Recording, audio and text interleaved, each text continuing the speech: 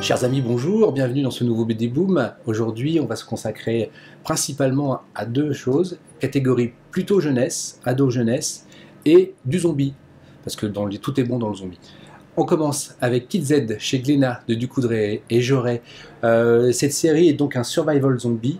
L'épidémie zombie a décimé l'humanité. Il reste quelques enfants qui apprennent à vivre tout seuls. Et les zombies aussi commencent à disparaître puisqu'ils n'ont plus rien à bouffer. Donc en fait, il n'y a quasiment plus de zombies.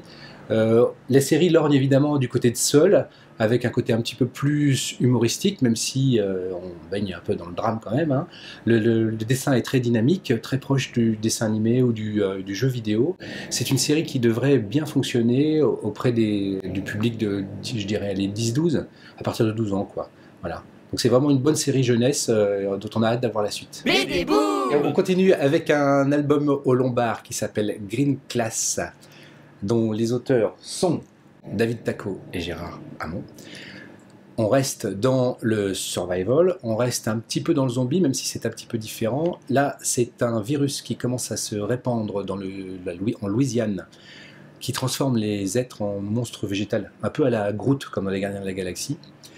Et c'est une classe verte qui arrive du euh, Québec, qui se retrouve coincée là, et un de leurs amis est atteint, et donc décide de, un petit groupe décide de rester avec lui pour affronter le, problème pendant que les autres rentrent au Québec, la région étant placée en quarantaine.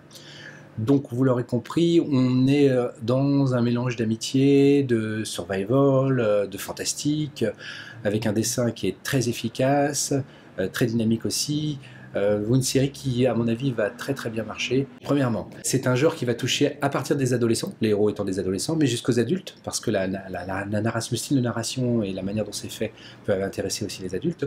Et deuxièmement, parce que le survival, qui est un genre à la mode, est un genre qui existe depuis très longtemps, se référait à Robinson Crusoe. J'y suis arrivé.